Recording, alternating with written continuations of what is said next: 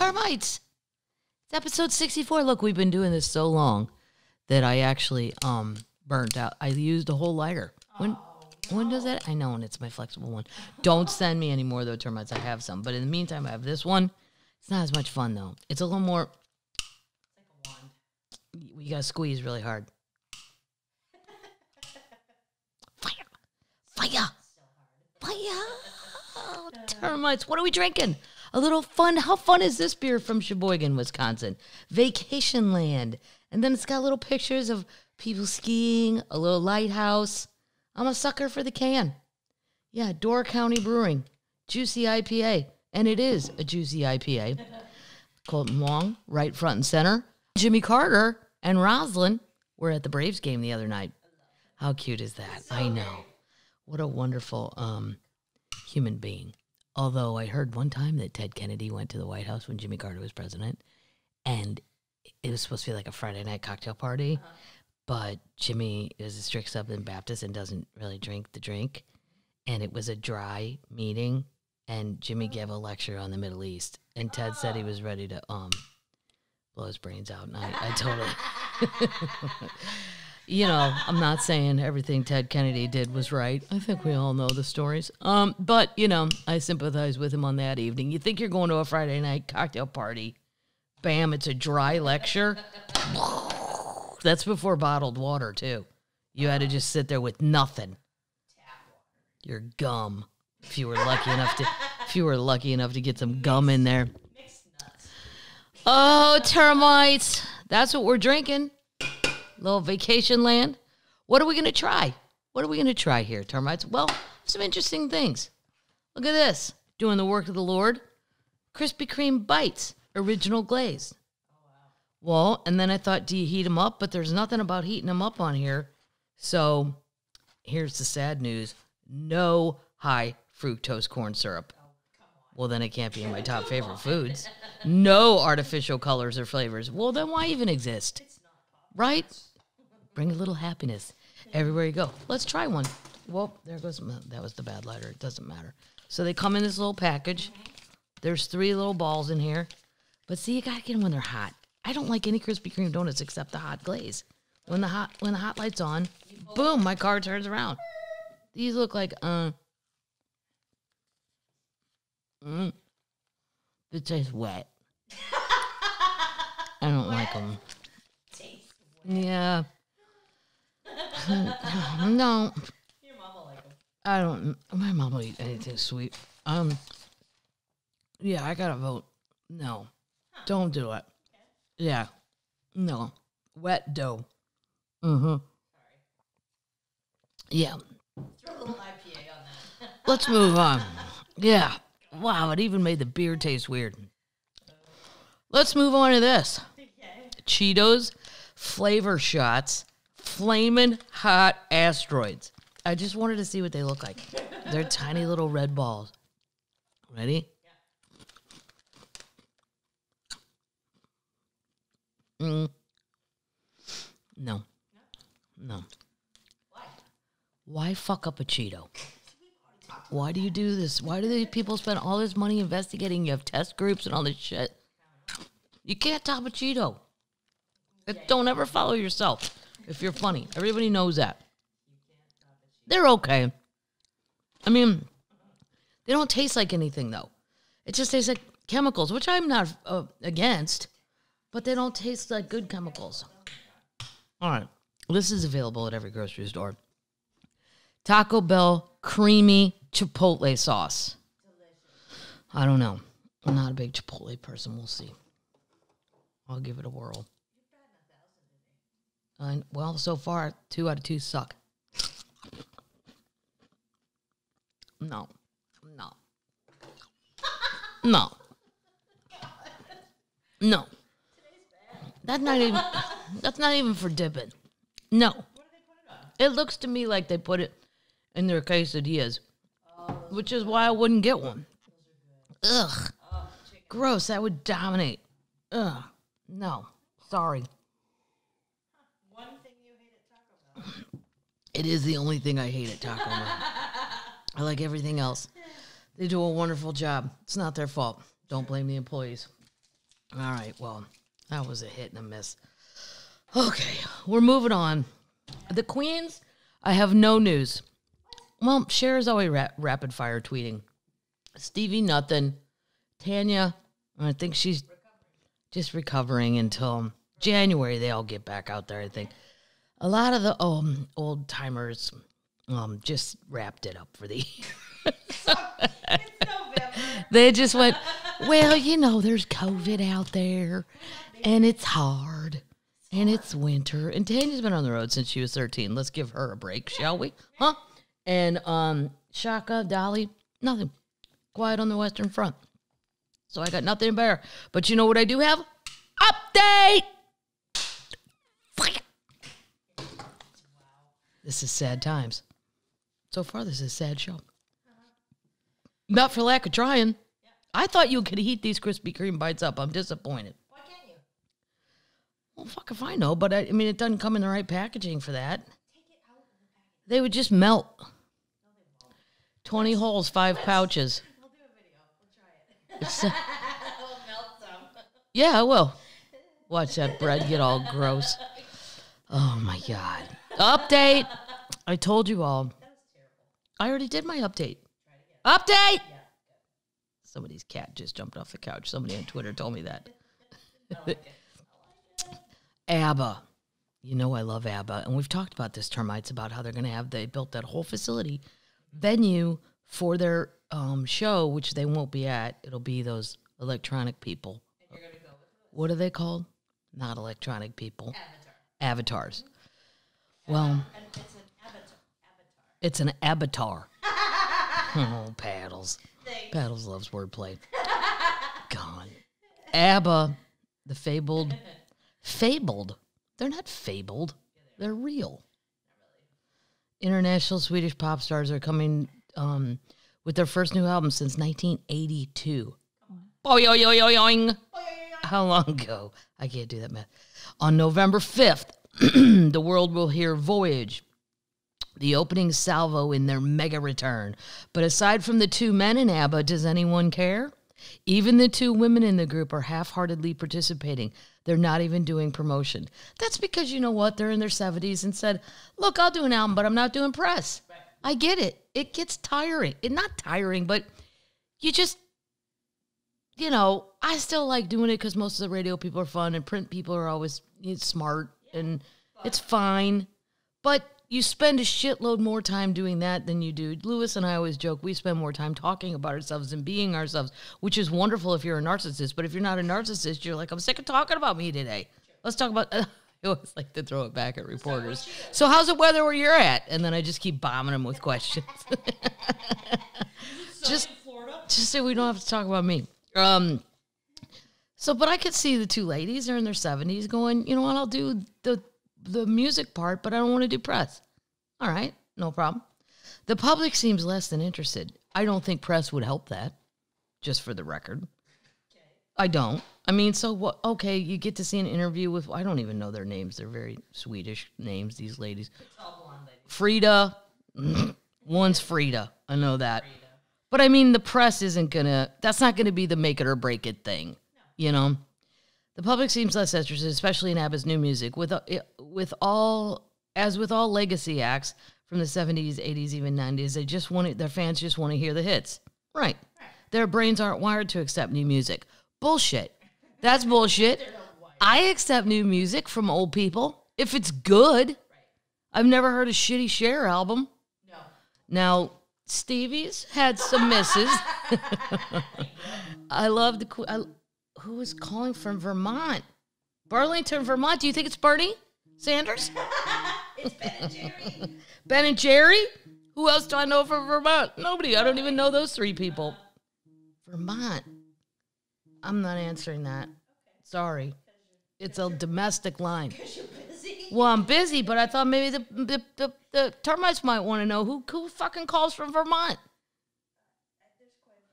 I don't know anyone there. I don't know one person, not even a comedian. I don't know one comedian from Vermont. Not one. I know one from Maine, Bob Marley, and Kelly MacFarland. But I was thinking Kelly is Boston. But Maybe she's up there. what? Maybe she's up there. Maybe she's in Vermont. Um, Wants to know what kind of ice cream you. I've done gigs there. It's an awesome little state. I have in Vermont, and I want to take that train. Ron just took the train to go see all the leaves and stuff in the East Coast. It's I notice the older we all get, it's it's like we've all gone down this list and we all go, well, fuck, I never saw the leaves in the Northeast. like we all just go, I got to do that, right? But I don't know when you're younger, you just don't. But he took a train, um, through the whole deal, and I want to do it. And- but um, the problem is, Ron, Ron won't know how we did it. I'll go, hey, dude, what was the name of that train? I don't know, Maddie. Well, where'd it go? From somewhere to somewhere. was it awesome? It was. You should call Anthony. That's the guy who does this stuff. Anyway, sorry about that distraction. Um, they're saying our brains aren't accept wired to accept new music, and I call bullshit on that. Because if it's somebody old, Sting never disappoints. Like there's people. No, he doesn't. No, he doesn't. Dolly never disappoints. A, a new well, that Christmas movie. I I feel she got pressured. I think Netflix. Yeah, I think Netflix was like, I don't think Dolly's ma- a movie person per se, meaning you know production and all that crap. And I think Netflix was like, here we're gonna dress you like a hobo, and she went okay, and it looked ridiculous. Like it just you know, whatever. I just don't agree with that statement. I will accept new music from anyone. Yeah. It's not like I can only listen to Mamma Mia or I don't want to fucking hear it. That's not true. I love the people from ABBA. Sing all you want. I'll listen to all of it. So ABBA has released three failed singles since September 2nd. All duds, not only sale-wise, but on the radio and critically. They cri- critically, they are bad records. Says who? Who wrote this article? Roger Friedman. What do you know, Roger? I'm going to go listen to all three now. And the public has responded in kind. Here are the sales figures according to Buzz Angle Alpha Data. And then there's all the sales figures, yeah. The numbers don't uh, bode well for Voyage, even though the album is currently listed as number seven on Amazon based in advanced sales. But Voyage could have been one or two big days sales based on those sales and then peter out quickly if, if there aren't tracks if there aren't tracks getting attention. So far, the radio has ignored ABBA uh, songs, and with good reason. They're not nearly as charismatic as ABBA's fabled hits. Why does he keep saying fabled? They're not fabled. It was fucking real. Cussing too much. I don't know why today. I know why. I don't know. Which have been featured in two movie musicals, a Broadway musical, one of the only other musicals I've ever seen in my life, and I went alone. It was great. And I made Lewis get me a good ticket because he knows those people on Broadway. And then he made fun. Because I was in New York by myself doing a show, and I was like, I don't know. I called all my New York friends. Everybody laughed at me and hung up. No one wanted to go. and Wow. yeah, Lewis was supposed to go because he's a sport. He'd go with me. I have to go sit, sit through some of his hard stuff. Um, but then he, I don't know, he had to work or something. Yeah, he took paddles to see the Cher musical. You see, he's a sport. He went with me to go see um, uh, the one of Mike Birbiglia's. He's a sport. He didn't know what it was about. I said, just come with me and shut up. Um, maybe a live. Okay. It's also quite possible this whole ABBA revival is going to be the Titanic of comebacks. What the fans wanted is a tour with the original four members singing Dancing Queen. May- Maybe a live album would have followed. No. So far, a new album of original. I'm not buying. I'm not buying ABBA songs again. I've already bought them ten times. I'm not doing it. I think I they already have live versions of it. I think. And the fake ABBA non hologram thing, whatever it is, well, we'll see if that sells tickets. They may get away with it in Europe, but in the U.S., it's doubtful. Isn't Roger a naysayer? We'll see. He could be right. I mean, I don't know Roger, but you know, if that thing doesn't do well, though, that's a shit ton of money. Better think of what else are we going to put in that venue? There's some promoter chomping at the bit. I can't wait till it fails. I can't wait till it fails. I can't wait. Update. Oh my God. This is juicy. Okay, so how many of you went and watched The Way Down? I told you to watch it on HBO Max. Um, even Lewis watched it. Because I'm like, Lewis tires of the religious fanaticism so quickly that he just gets angry and turns it off. But I'm like, no, but Lou, this one's about dieting. And he's lost weight just over time, just probably from the pandemic. He didn't drink as much. And he said, well, he's clearly getting closer to the Lord because he's lost some weight. And I'm like, well, I don't know about that, Lou. But uh, this is breaking. Gwen Shamblin, that's the lady with the crazy hair, who I, I cannot believe in the whole three episodes I saw, nobody mentioned that that lady was teetering, if not full blown anorexic. Like, And her daughter. God. and the daughter, I know. They all kind of remind me of um, who's the lady in the Hallmark movies? Uh, I call her Candace Creme Brulee. Candace Candace Cameron Bure. Because her brother is Kirk Cameron, the person who thinks the end of the world, like he's a Jesus person that says, like, left behind, like it's going to happen in our lifetime. Yeah. She's in, I think she's on whatever. Jen Shamblin's will, uh-huh. oh, her will, potentially worth millions, leaves nothing to her remnant fellowship church. No way. Hold on. Yep. Was her ministry about God or about Gwen? Uh, she died in a plane crash back in May. That crash also killed her husband and five leaders of the of her Brentwood church, the Remnant Fellowship. I just point out for people who don't know anything about Nashville either. Brentwood is a fancy area.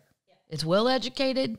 It's rich. It's pricey. This lady was not scamming hillbillies in you know hoopy dunk, po dunk, hoopty dump. All of this is Where? hoopty dunk. I don't know what I just said. Um, usually I don't film these later in the day. I usually do it in the morning after coffee. So I'm a little, eh, not loopy. Just you know, there's a lot that's happened today. I had to pack. It always scrambles my brain to do that. I'm like Florida. Then I'll be in, uh, you know, Canada. It's a lot of clothes. Anyway, but an exclusive News Channel 5 investigation discovered that Shamblin's last will and testament involving an estate potentially worth millions of dollars. It's not potentially. It's worth mil- I've seen I've seen the actual church in person. Located where it's at, the acreage, come on.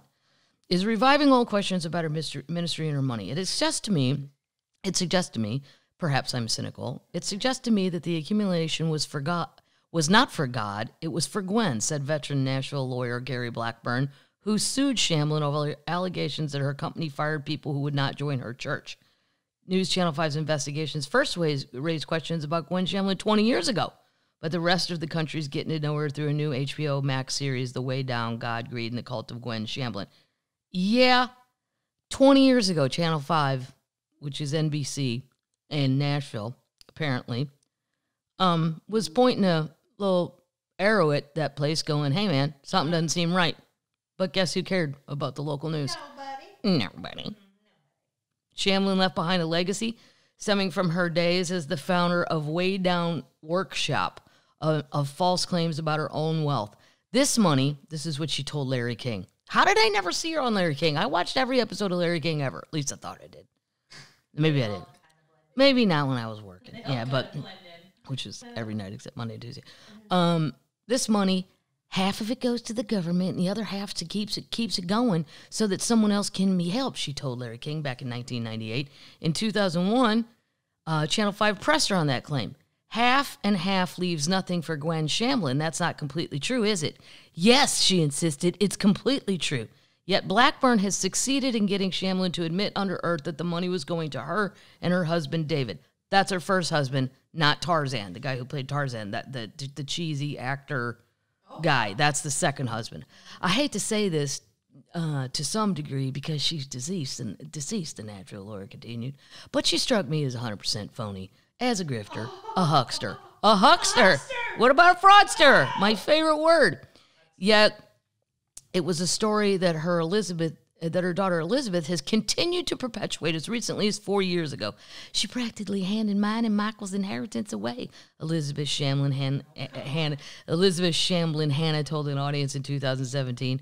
Me and Lou both said though, um, they better figure out Plan B uh, to carry on the church because Elizabeth don't have it. Whatever you got to have to lead it, she ain't got it. Mama had it. Mama had it, but maybe the oh no, the, the son's always kind of on the outs, so it ain't gonna be the sun. They need to find maybe Elizabeth can have a baby and hurry up and raise it.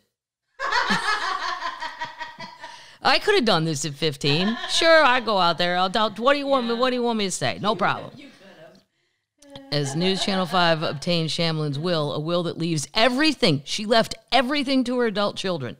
So that so this girl's lying, first of all. yeah. She didn't hand anything away. She gave you everything.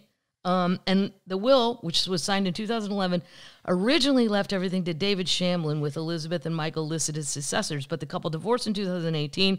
Tennessee, Tennessee law provides that the ex-husband was no longer eligible to be the beneficiary of the will. Right. Totally makes sense. So, how much of the money was left to the Remnant Fellowship Church? We asked uh, the lawyer. I've looked at the will a couple times and I haven't seen any. None. Now, here's the Remnant Fellowship statement. In regards to Gwen's estate, Gwen, Michael, have they've decided almost uh, decided almost two decades ago to give approximately 10 million of what have, would have been Michael and Elizabeth's inheritance to the building and grounds of Remnant Fellowship Church. Gwen also donated the Way Down Ministries and its proceeds, as well as her intellectual properties, over to the church. This was an incredible gift of generosity from Gwen and her family's inheritance, as the church would expect no more. It's not why, clear why the church needed to sign a mortgage for two million three hundred forty-one thousand in July of 2014. At the time of her death, Shamblin was one third uh, of the way through a nine-week video series on greed. Oh, mm, irony! A series in which she urged remnant followers to prepare, prepare to give up all their wealth.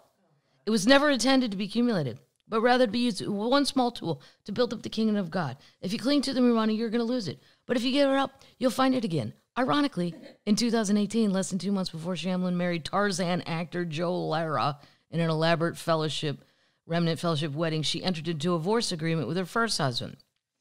She suddenly agreed to that settlement after David Shamblin's attorneys filed a subpoena to require Remnant Fellowship to reveal all payments and fringe benefits provided to her and Joe Lara, as well as any non disclosure agreements that the church has signed with current or former members. So, she all of a sudden gives David what he wants, the uh, the soon to be ex husband, because he says, "Well, if you're not going to play my game, then you need to open the books." And then she went, "Okay, honey, whatever you want." The divorce settlement uh, filed in court details how the couple would split 18 pieces of property. Wow. They're now valued at over more than 20 million. She'd agreed to pay David 3 million out of her own pocket. To accumulate that much money means two things, Blackburn, the lawyer said. One is you have tremendous cash flow, and secondly, you're not contributing a whole lot of it to mission work or other work of the church. Right. Right. Right. Among the properties that the woman of God got to keep in the divorce, our investigation discovered, Channel 5's, was an elegant beach house in Destin, Florida. A house that a real estate listing described as, quote, Gulf front living at its finest. I do love me some Destin. I do love me the panhandle. Yeah. Maybe I'll maybe I'll look into one of these. How much did it cost? Seven B. Yeah, I don't think I would have that for a second home. Located right in the Gulf of Mexico, Shamblin's beach home with its four bedrooms, five baths was located in a gated community known as Destiny by the Sea. Oh, Fabulous. well, in 2010 it was 2 million. It's now valued at 4 million. Old real, an old real estate listing for the house boasted of its master bedroom with a Gulf view with his and hers master bathrooms and a lavish library. I did see it's in one of her videos. She does a video from the porch. It's totally cheesy. Um, uh, yeah. that-. Oh, it's they, they included in that video is a discussion of Joe Lara's love of scuba diving. This guy was the ultimate cheese whiz. I've never, yeah. Back in Brentwood, the divorce settlement shows Shamblin also got to keep the couple's pre-Civil War plantation home, known as Ash Lawn. Yes, I love it when people name their home. This is named. This is named the House of Madness. House Madness. The current property value of that property, seven million. Yep. This is what Shamblin told us in 2001 about our luxurious home and fancy cars. If it was needed, I would sell that car. I would sell that house. You didn't fucking need it to begin with. How about you get on my Mercury Mariner bandwagon? hmm? Gwen, want to downsize? Mine's not for sale. 2007 runs like a charm. Not selling it. And then Channel 5 said, but you haven't sold the house or the car. It's not needed yet, Phil. That's what she said. We pressed. There's nobody who could use this money. She said, No, I'm talking about this ministry, and it may happen. Believe me, that house is God's. You're just living in it. Please. She began right after right after her remarriage. She be, she began transferring her real estate holding not into Remnant's name, but into the names of various trusts, effectively shielding the real identity of the owners. The beach home is listed at Sutton Sutton Ocean Trust. Ashlawn is owned by Franklin Trust, so she's hiding it all. Yeah, right. Oh, they have a lake property on Center Hill Lake. I know where that's at. Um, that's out about two hours from Nashville. Beautiful lake. That's owned by the Farm Trust. In her video about greed, she said, Most of the world has abandoned true religion and are now converts to building up their own pocketbooks. Well, just replace the word pocketbooks with trust. Yeah, that's you, lady. She's also very, con- she was very, very um, set on building up her hair as high as hair can go without falling over. Yet God is a God of gust- justice and he will not be mocked. Oh, less than four weeks later, she would die in a plane crash. As a result, we never may never get certain answers about much wealth she's really accumulated, about why her will fails to even mention her beloved remnant fellowship. It's your uh, karmogram. It's my karmogram. Yeah. It's uh, interesting that God's house to her is uh, double wide. Well, well, Yeah, she's not living in that. it, I mean, can we just say everything's God's house? I mean, if you want to say it like that. So there you go. There's a little because there's two more episodes of that show coming, but not till 2022. Can't wait. Update. Boom. Not gonna want me to. No, no, no. Stop Paddles. At the Elizabeth Holmes trial, prosecutors prosecutors are using her words own words against her. This is great though. They plan to pay, play audio tapes for their jury of phone calls Holmes made with investors. Holmes is charged. We know what she's charged with. It doesn't matter. Um, legal analyst and former San Francisco deputy district attorney Michelle Hagan said the tapes will be damaging against the defense. The more damage the defense huff, suffers, this is key, at Holmes' lengthy federal fraud trial, the more pressure Holmes will feel to testify in her own defense. Holmes has the choice of taking the witness stand after the prosecution rests its case. Her biggest decision, her decision would be the biggest gamble of her life. Well, here's what I would tell her if I was her attorney. Here's the thing, Liz. Um, you can get on the witness stand if that's what you want to do, um, but we got to stop with the fake voice because normal people out of the gate are gonna go. This lady's crazy, right? The minute the minute she spoke, I was like, "What? Stop it!" Hi, it's me, Kathleen. Do I seem do I seem more powerful? Do I s- do I s- do I seem taller and more in command? What if I had on a turtleneck? And then, uh, yeah, you know, then I just look like a tiny round head. I don't have the neck for it. I don't have a neck. That's a problem. um, we know what this up. Can she win over a jury? Holmes's attorneys are defending her as a hardworking, young, and, and naive CEO who underestimated business obstacles. Oh, bullshit. Holmes dropped out of Stanford and founded, we know all that. Prosecutors have a list of nearly 200 witnesses, and the trial is expected to last through January. Aren't you happy about that, Paddles? January. For the first two months of the trial, they have testified that Holmes was calling the shots and will fully, was fully aware of what's going on. Yes. Two whistleblowers, ex Theranos Lab director Ab uh, Adam so and so and so and so, um, testified that Holmes' inter- invention, which she proclaimed would revo- lever- re- revolutionize blood testing, was a flop. Holmes told investors and business partners that she had invented box. We know what she said she could do. Um, uh, senior scientist Sarika, I can't say his last name or her last name. Um, no, it's a her. Testified that she met with Holmes directly on a regular basis, telling her about failures unraveling in the lab. Despite, the lab's problems, Holmes pushed forward, opening wellness centers and Walgreens stores, accepting patients, and wooing more wealthy investors to throw millions of dollars into her company. This is crazy. Another witness called um, former Theranos finance manager Sohan Spivey tested that Theranos was hemorrhaging money. It had net losses. Get a load of this. 11 million in 2009, 16 million in 2010, 27 million in 2011. The company went for years without having its financial statements audited, Spivey testified. Uh, This helped establish a motive for why Holmes would need to defraud investors. Yeah, Right. you, you're out of money. you better go trick some other old fart into giving you money. George Shultz. He was like 150. I really couldn't believe he was still alive when they said that.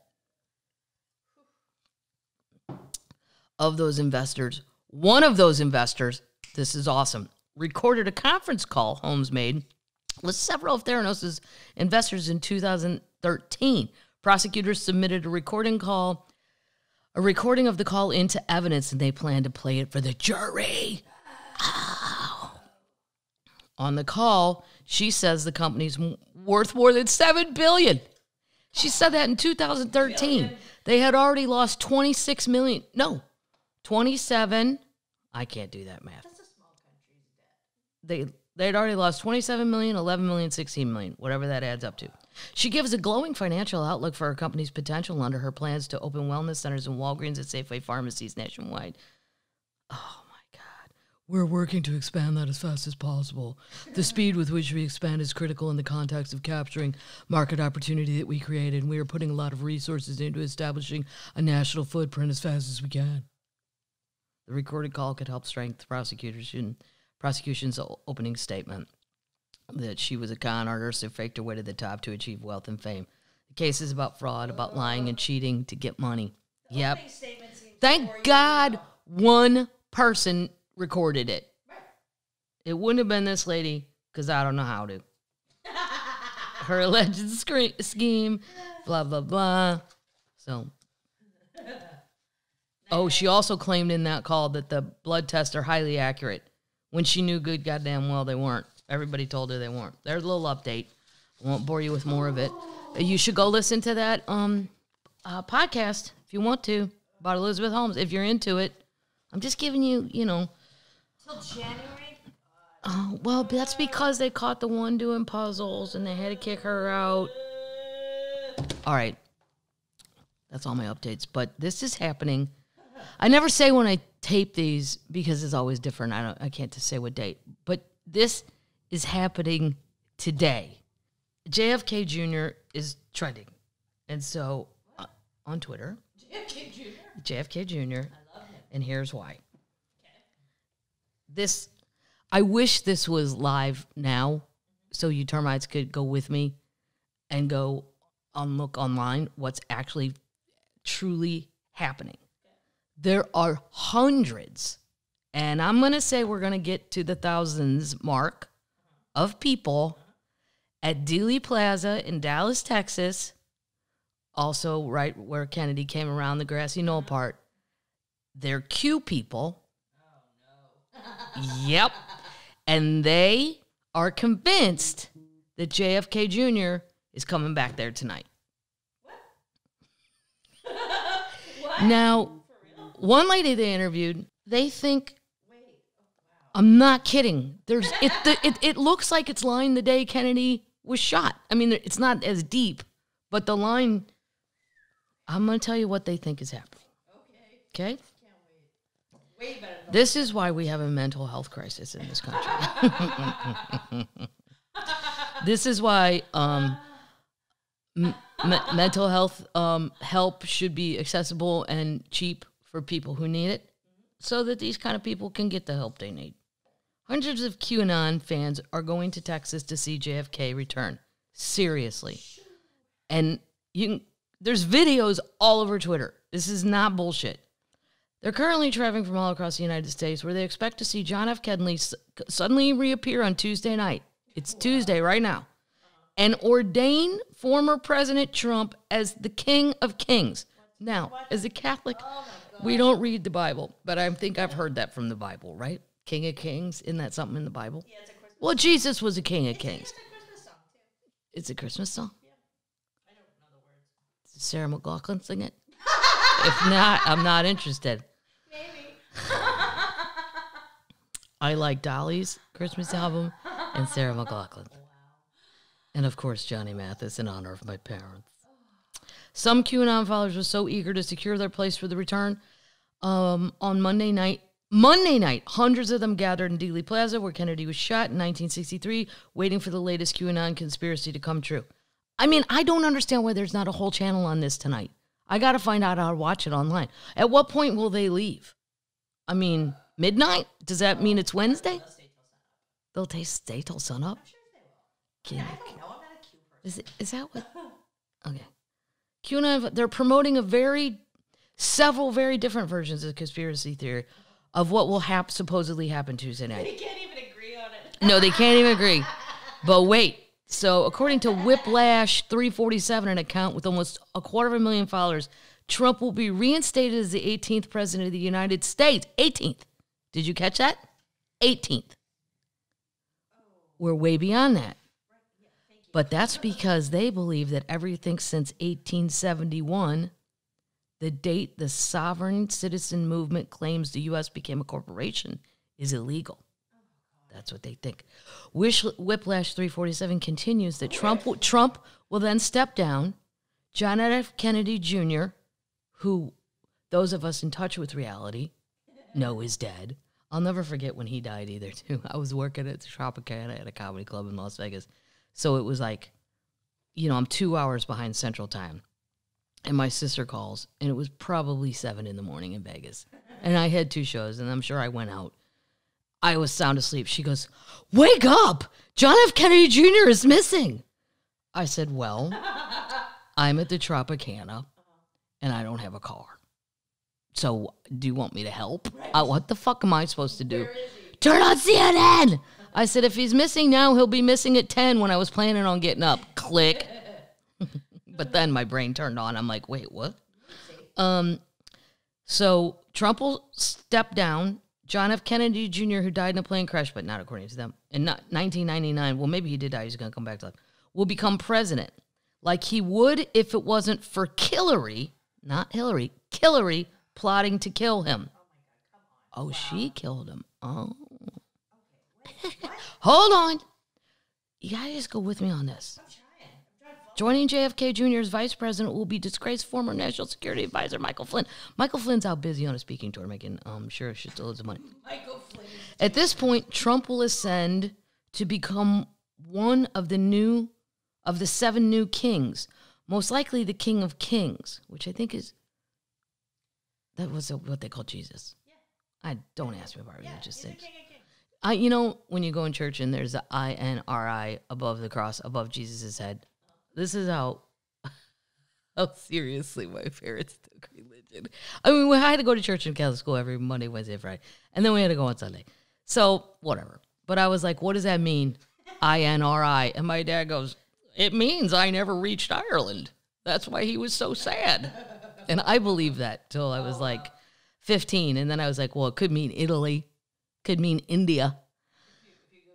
Who's the King of Kings and Lord of Lords? Lord of Lords. I like that better. Lord Lord Michael Flatley, ki- King of the Dance. oh, it's Jesus. It's Jesus. Several times in the Bible. Yeah, several times. Notably, Well, that won't matter because I haven't read it once. Right. or something. Hold on. Now, here's the second theory. I told you theory one. Here's theory two. Michael Brian Protzman, who runs Negative 48 channel, has over the 100,000 subscribers. Well, so what? So do I. I'm, I mean, whoopty shit. He, thinks, he sees things sli- slightly differently. He has claimed that the Kennedy bloodline is directly linked to Christ. He told his followers on Tuesday that JFK Sr., Jackie, and JFK Jr. will be reintroduced to the world. Then the JFK Sr. will travel around for seven days, then will pass. Before he dies, JFK Sr. will transfer power to Donald J- Trump, and JFK Jr. will be Trump's vice president. Oh my they God. pick the Kennedys? This is why they should close the goddamn internet. Why did they pick the Kennedys? I don't know yet. I don't know. I mean, they're liberal. Why would you think they'd want anything to do with Trump? I know. I don't They didn't even pick a dead conservative. This is the problem with the internet. This is the problem. Well, there's, okay. but you know, I did buy some stuff on it yesterday.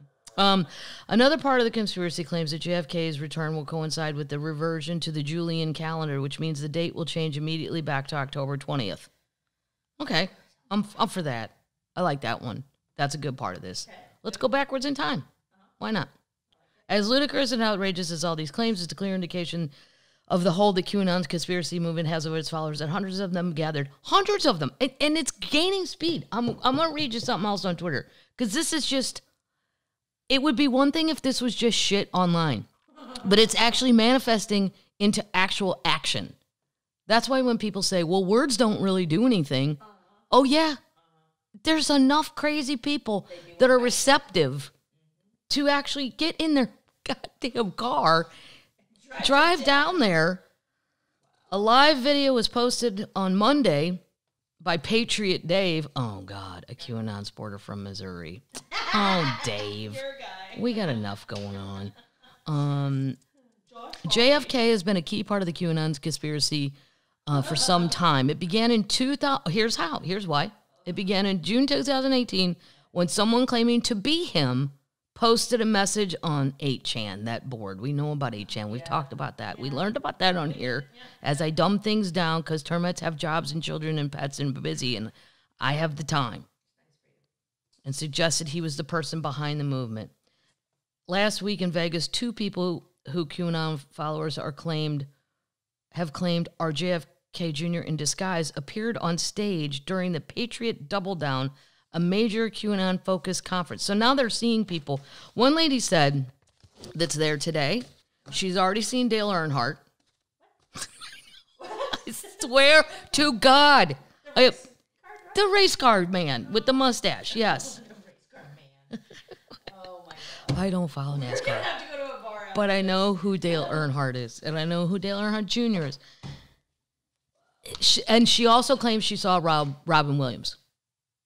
And I can also tell you, Robin Williams was not a conservative. Robin Williams is not going to attend your QAnon thing. Nothing they say makes any coherent sense. This is why I don't know if, if they should help these people. They've split from reality. They've com- had a complete split.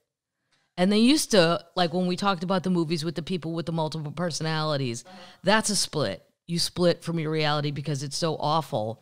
Then i would say to these people what what is so awful or has happened in your life that you're okay f- with splitting from reality? Just saying something Segregation went away. um this is another one um Wow.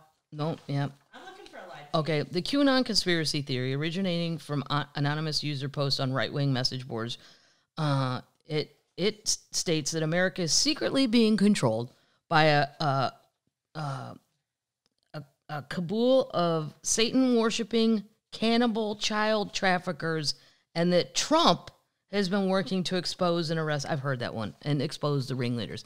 They think Hillary Clinton is one of them, like she eats babies or something. Um, it's ex- it's spawned the U- QAnon has spawned. Here we go. Spawned extensive merchandising. Some of these people, I have seen it, real videos. They have Trump Kennedy T-shirts on. Well, that's see, that's what I put on Twitter. If all these people are down there that gullible, why am I not down there selling merch? That's on me. I didn't know it was today.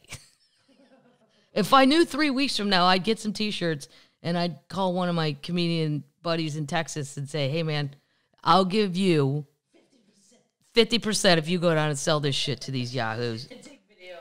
Oh but this, okay, this is what this. That's just in the. This is what I'm gonna read you because this is like, wow, this was part of the. It's been trending all day. This is what Ri- Whip Whiplash, the one who's kind of in charge. This is what they think is going to happen. Ready? Trump reinstated as the 19th president. He will call up a new vice president, JFK Jr., as everything from 1871 was illegal or unconstitutional. Justice Thomas, only Supreme Court justice remaining. Missouri's finest. Trump will step down. John Jr. will become the president, like he would have if it wasn't for Hillary plotting to kill him. Then we call up Mike Flynn, right? I'm on board. Trump will become one of the new seven of kings, most likely the king of kings, but hold for it. Seven trumpets, seven presidential messages to all phones on earth. What about androids? Will I get one? Probably not. it's iPhones only. I'll have to ask you. Hey, did we get a message from the King of Kings? Fuck, I didn't get one. Why not? Okay, so And then seven kingdoms. So seven, seven, seven. I don't know what any of that means. I don't have a relationship. Clearly, they're pulling stuff from the Bible and twisting it and turning it. I'm sure trumpets are in the Bible, right? Like angels had them, I think. angels have, cherubs have them a lot. wow mm. That's because they didn't have electric guitars. Um, This is crazy. This is great though. Seven presidential messages to all phones on earth. Now, if you go on Twitter right now, and I know this won't be live, but I'm just going to let you know that um it's still trending. What happens if they JFK Jr. Let's see. What happens if he doesn't come? I know exactly what happens They go back to they just go back to their message board and look look for another. They go back to eight chan and go, "What happened, man? I was down there like for seven hours." so they are picking a Democratic vice president to become president. He'll be president because Trump will step down. But uh, where does Trumpy go? What happens to Trumpy? Trumposaurus has to go home after all this shit. He goes to McDonald's. He goes to McDonald's. What about the, is Melania in on it? No, she She quit, right? she'll go with JFK Jr. Yeah, I repost. No shit, right?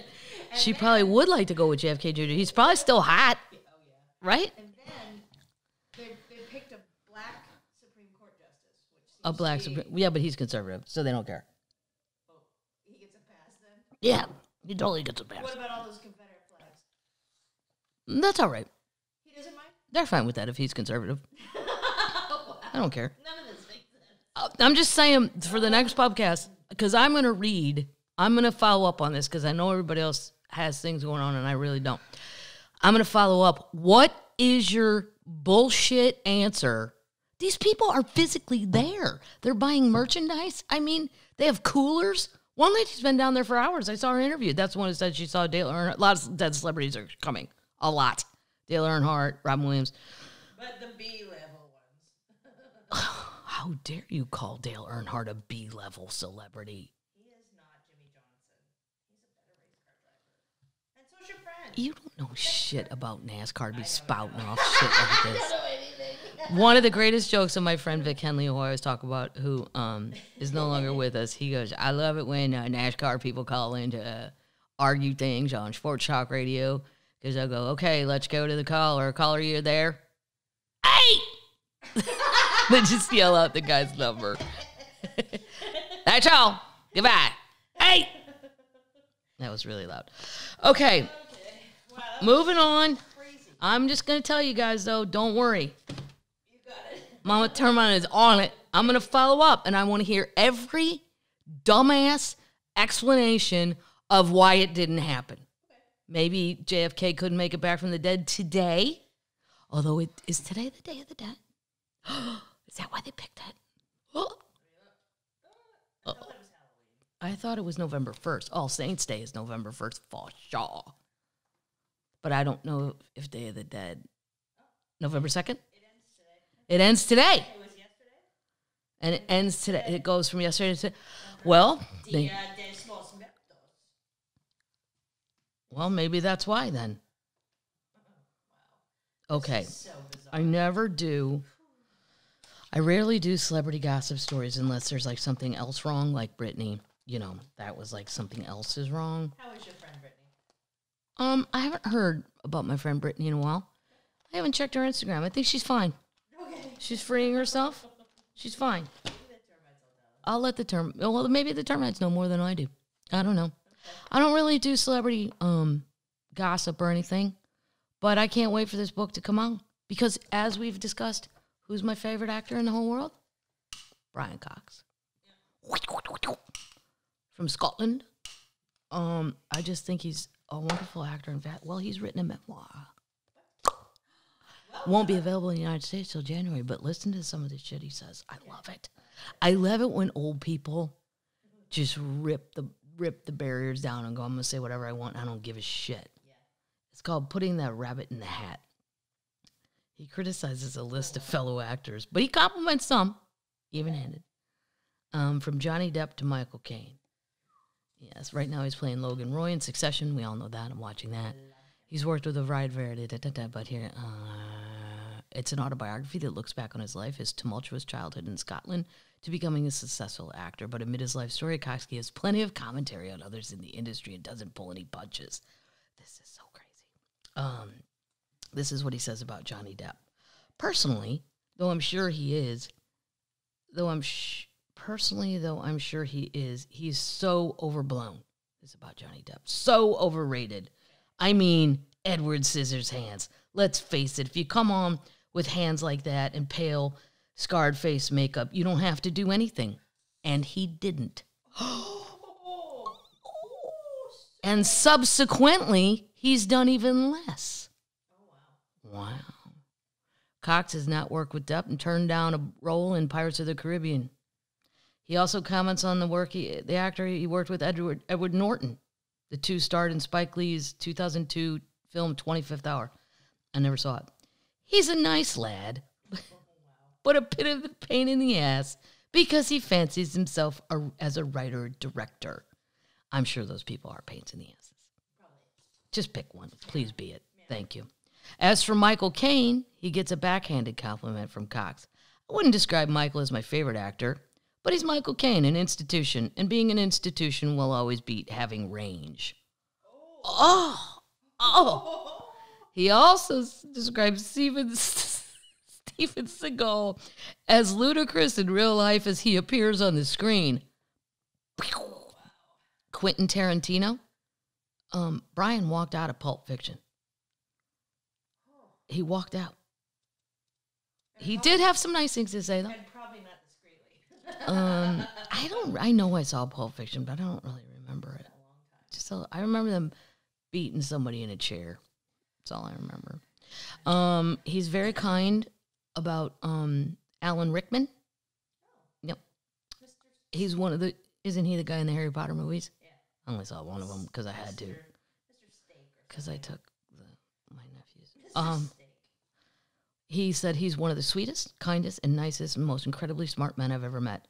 On Morgan Friedman, who he worked with in 1966 Chain Reaction, he said, I'm pleased to say that although he was cold and pissed off and watching bedlam reign around him, Morgan Friedman remained an absolute gentleman, being the very epitome of Morgan Freeman, the Morgan Freeman you would hope to meet, the Morgan Freeman you encounter in your dreams. Wow. He also praises Scarlett Johansson. They both had roles in Match Point and Her, writing that she is divine, funny, smart, and wonderful. Yeah, divine. Um, he said that Spike Lee is simply one of the best directors. His knowledge of cinema is second to none. What's more, I've never known a director to be so um, diplomatic. Nice. He knows some people will be upset by the book. yeah, I get, but a lot of people are going to go, I don't care what he has to say. He's 75, and but I'd care because I think he's smart. He knows that his comments will not go over well. He told the big issue, I'm expecting probably to never hear from some people again, but that's the way it goes. Um, he asked if it was um, cathartic. You know, he said, just tell the truth, shoot the devil. It was cathartic, necessary. It was important for me because I've reached a certain age. I wanted to look into certain things in the light of one's experience and be as truthful as I could be. Well, good. He certainly doesn't waste your time. Yeah, go for you. As what does Rocky Laporte say? Go for you, Brian. Go for you, Brian. Go for you. Yeah. All right. Let me see what I got next. I have so many things. I'm still stuck on the 18th president. No, he'll be the 19th president. Pay attention, paddles. The first 18 were legitimate. No, I'm just saying. Damn. If you can't keep up, we're not going to the rally. I'm going to take your Trump. I'm going to take your Trump Kennedy T-shirt that I've secu- procured online, and you're not going to get it.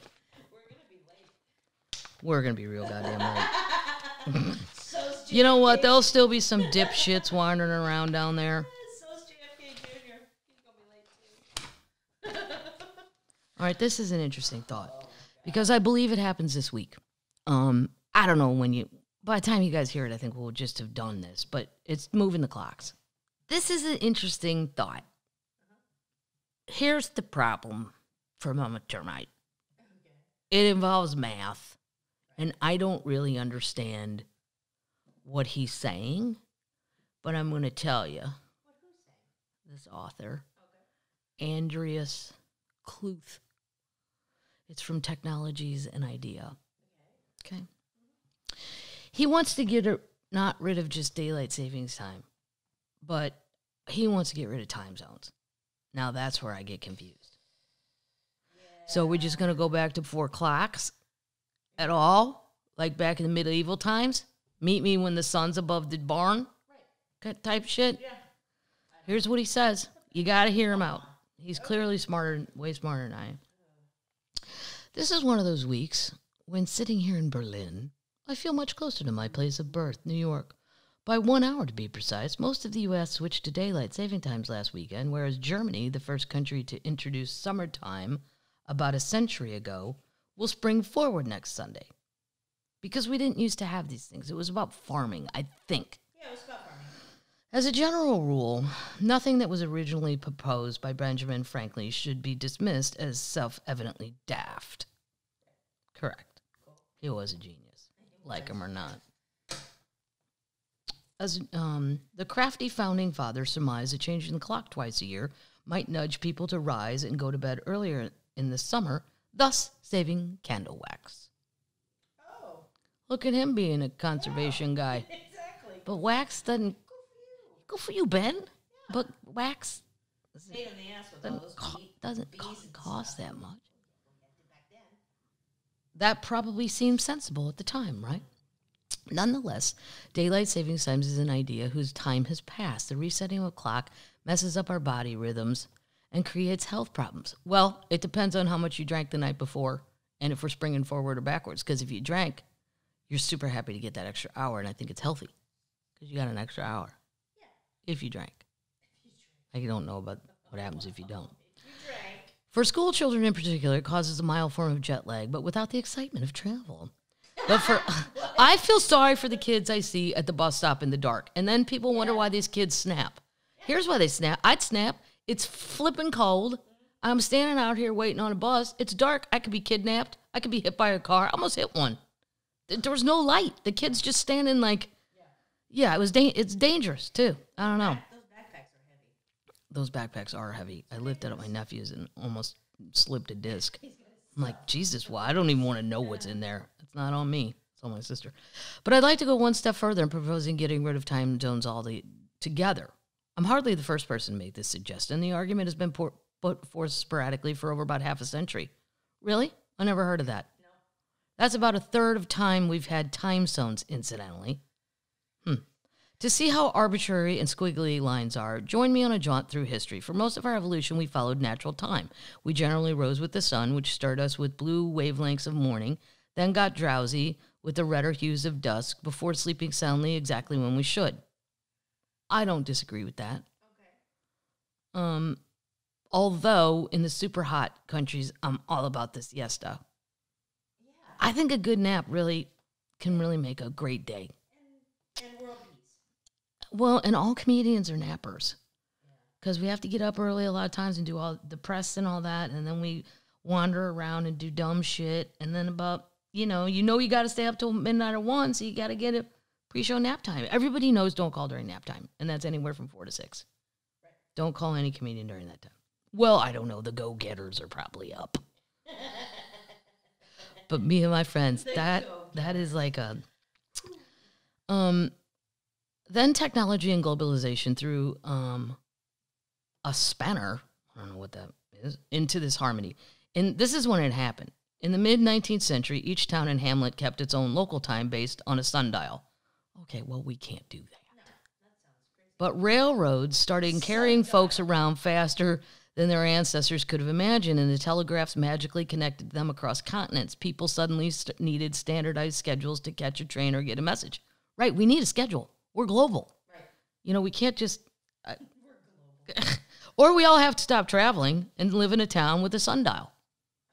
That's fine. This is not going well so far. In 1884, some countries therefore agreed on international time zones. The prime meridian was defined as running through a measuring as a measuring device in the Royal Observatory in Greenwich in London. The rest of the world was divided into strips of 15 degrees longitude in width and nearly adding up to 24 zones, one for each hour of the day. Wow, I would have flunked doing that. Kathleen, uh, I'm gonna need you to divide this by longitude and latitude. Is it lunchtime? Yeah. Um, you know what? I'd love to help you, but it's my nap time.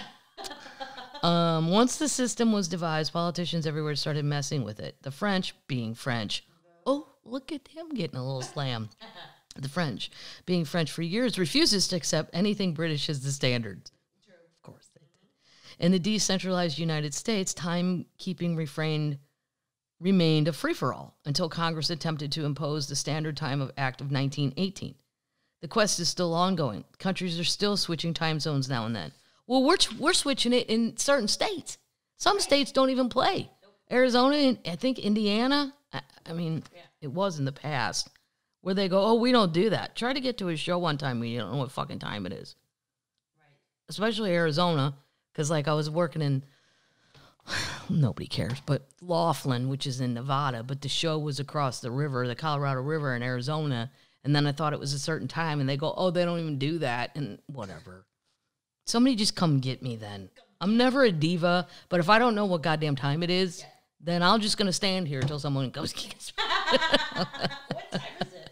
Because I don't like to be late. Catholic school rule follower. Elsewhere, countries kept bending the meridians to suit their ideologies. In recent years, North Korea shifted its time zone by a half hour just because it could. Kim Jong got bored. Before moving it back again to align with South Korea when relations thawed. Idiosyncratic places like Nepal diverged by quarter hour increments. Russia has 11 time zones. Texas has three, I think. I think you move, giggle that. I think Texas has, I know Texas has two for sure, maybe three, because I've driven through it and went, I changed time zone, and I'm still in the state, in the same state. Two. Two. Okay. China, which should have five, only has one. Politics isn't the only thing that exposes the system is intrinsically silly. If you ever visit the right spot in America and stretch out your sleeping bag, you'll be in different time zones simultaneously. What will that cause jet lag? Besides being inane, the convention is also bad for us because it messes with our biological clocks. People who live on the eastern edge of time zone get their car, uh, their rhythms and health thrown out of whack. Yeah, especially if you stay up for Monday Night Football. I don't know how people live on the East Coast and watch sports. I really don't.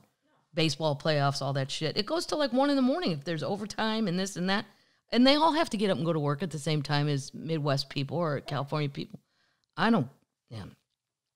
The whole notion of time zones rests on a fundamental delusion. It suggests that a number, this is where I don't know what he's talking about, 7, 12, or 21 should tell us when to get up, eat lunch, or go to bed.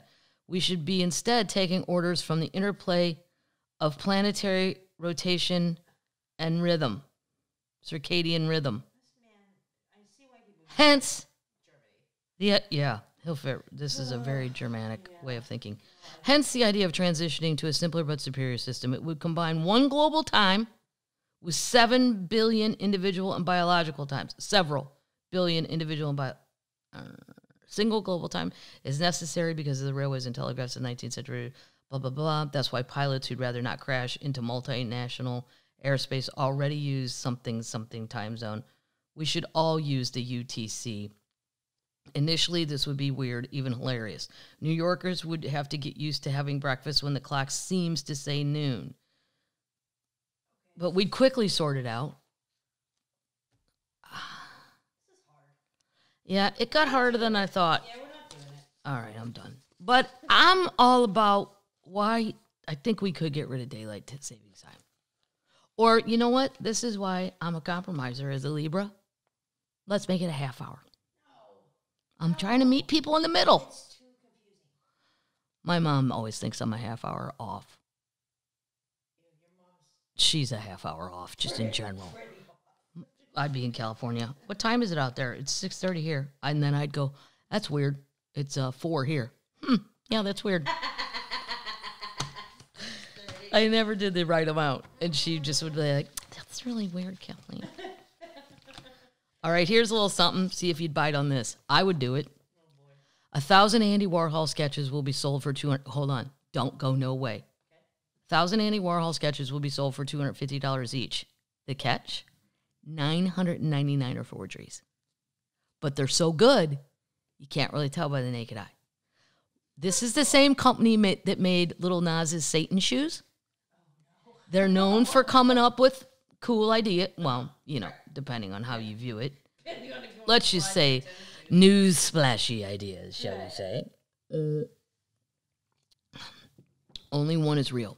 This is the latest artistic concept by the released by Brooklyn-based collective Mischief, but it's M S C H F. Uh, Mischief. Known for its provocative and viral creations. The particular exhibition is called the Museum of Forgeries and based on a sketch done by Andy Warhol titled Fairies. It consists of three nude fairies playing with a jump rope, and it was sold by Christie's in April of 2016 for $8,125. I'm surprised you could buy an Andy Warhol for $8,125. I mean, it's just a sketch, but still. The sketch is now approximately worth $20,000, according to the uh, chief uh, revenue officer of Mischief. That means one lucky person will make $19,750, while the other 909 will get a pretty decent forgery.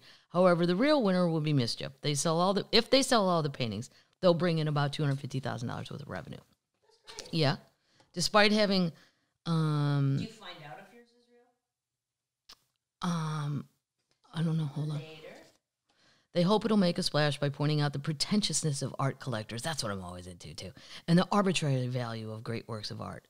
Ubiquity is the darkness in which um, novelty and the avant garde die their truest deaths. More than slash canvas or burn pages, democratization of, of access or ownership destroys any work premised on exclusivity. Wow, that's quite a sentence. That hurt my head. Um, I mean, I guess they'll tell you. It just it doesn't say in the article. Yeah, I guess the person you'll be notified. I'll just say that on behalf of Mischief. Doesn't say that in the article. You'll be notified.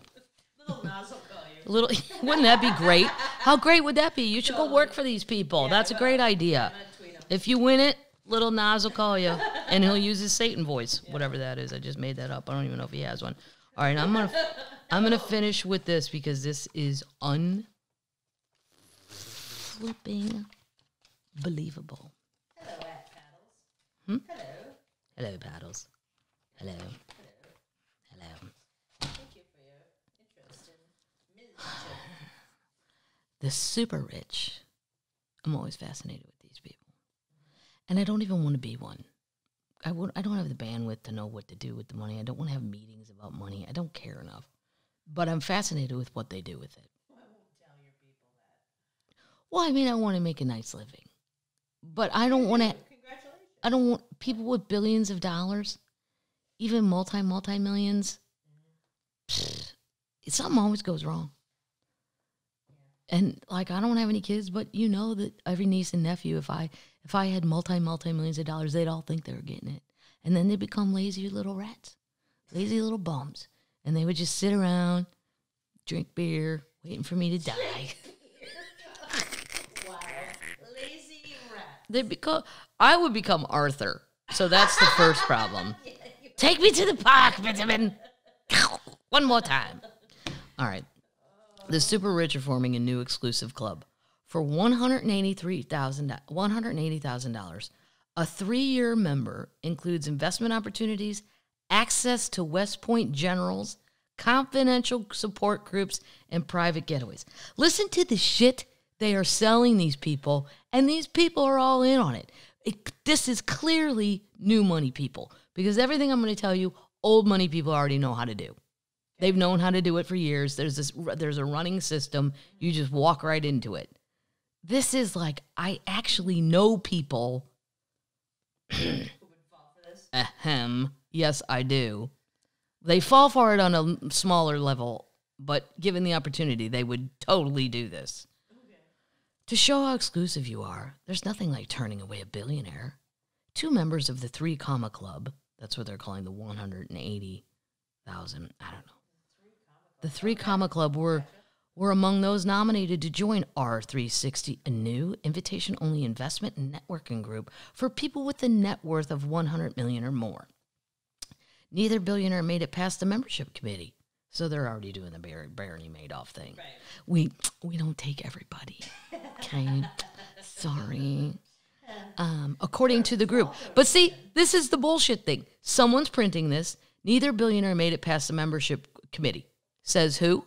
Says Charles Garcia, one of the group's managing partners. So you just create that story. You just make that up. Right. There's nobody that. No, I doubt it. I took some grief for that, the 60 year old entrepreneur, a consummate networker who founded Sterling Financial Investment Group in the late 90s and chaired Florida, South Florida's chapters of Wealth Network Tiger 21 for many years. One person seemed to want to leverage the group to benefit their own business activities, and the other one didn't want to integrate his family. How creepy. Yeah. The whole family's got to get in on your weirdness? Nope. Neither of those are in line with the values considered to the core group. Members with those values, which include honor, entrepreneurial grit, I have none. I would they'd go, what do you what on a scale to one to ten, Kathleen, how's your entrepreneurial grit? I'd give myself a half point. I have good ideas. I just can't implement The them. podcast. You have a good idea. We Have a little Nas call the winner the Andy Warhol deal. Okay, on that as soon as we're done. Send them that for free. As soon as I Um, Kennedy. and generosity of spirit. Oh, I have that, but I don't need anybody to teach me how to do that. You're invited to go on a three year journey to gain mastery across six kinds of capital financial, intellectual, spiritual. Okay, if you don't have your intellectual shit together by the time you have all this money, then you're just a, a walking moron who got lucky. Good for you. Good for you. Spiritual, if you don't know what you're doing by the time you have all this money, human and emotional and social. A three year family membership costs $180,000. There are countless formal and informal networks for wealthy individuals and families, but R360 aims to find a place among them. Tiger 21, perhaps the most widely known group, never heard of it, has nearly a thousand members paying dues of 30 grand a year. You should, I think there's a lot of people that just want the financial. It's all bullshit. You already know what stocks are being sold. It's all insider trading. Tiger 21. Got it. Um, when people get wealth of a hundred million or more, their issues are far greater than for people who are wealthy but not at that level. I think poor people's issues are a lot greater. If you're sitting in a double wide and you don't you know you don't have your pad payment for August, you're fucked. What's a pad payment you got rent. the? Mobile home sits on a pad. You gotta rent the cement. Yes, you rent your area. Jesus Christ. What? Oh my God! I God. gotta talk about that after. Uh, I'll explain mobile home living next episode. we lived at one for a while while our house was being built on top of a top of a hill. We lived it, and it, it was, but I don't know why my mom and dad like they always called it the Fakwa because it was like F O Q U A T. It was some brand, but my parents my parents would go, "Oh, darling, tell your friends we're living in a Fakwa," and I'm like, "Oh, that's my sister. I can't talk to you right now." Kit, Kit, Kit, did you make it? Pad payment. I gotta Google it. Christ Almighty! Not gonna let me finish this story. I'm sorry. These people have achieved success and are looking more at how I can make an impact on things that matter to me for myself, my family, for society. Well, if you're, if you are you spiritual, what church do you belong to? Walk, walk on down there, plop a million million Go talk to the King of Kings. on there, right. There are philanthropic networks such as the invite-only Synergos Global Philanthropy, Philanthropy Circle, founded by Peggy Dulany and her late father David Rockefeller, with more than 100 family members around the world. Like R360, Gia uh, describes membership as a journey, a, a year, a long cycle of inspiring, engaging, and connecting philanthropists and social investors to create a better world. Dues are $25,000 a year. These independent groups are in addition to those formed by fri- private banks and high end wealth management firms, which pour resources into building networks designed to connect, educate, entertain, and retain their ultra wealthy clients and their children. It's word salad. It's word salad. You're really paying to get insider information. Right. Go buy a thousand shares of Hoopty Doo because Schmoopty Doo's selling it. All right, thanks. Um, but wait, there's there's just really good details. Hold on, I don't need to read. That's all kind of boring. But there's a Pad payment. Google it. I did. Did it come up? Um, I think you made that up. no. Mobile home pad payment. Pad. You rent your pad. A lot of stuff. Hold on. I want to tell you what they also Launch pad payment. do. Launch pad payment. I did that. Um. Uh, hold on. Um, okay, okay. Here's what some of the things you can do. In July, about 30 members went on a four day retreat on Richard Branson's private Necker Island. There, uh, Cole, whomever that is, led a talk with Branson. So now you're in a tiny TED talk that you can't leave. Fuck me. On an island, all I want to do is sit around and go swimming or uh-huh. snorkeling. I don't want to sit at some talk. Other speakers included Harvard professor David Sinclair, author of Lifespan Why We Age and Why We Don't Have to. Yeah, we do, David. Everybody's going to die. Stop it. And James Doty, a Stanford University School of Medicine neurosurgeon who founded the Center for Compassion and Altruism Research and Education at the school.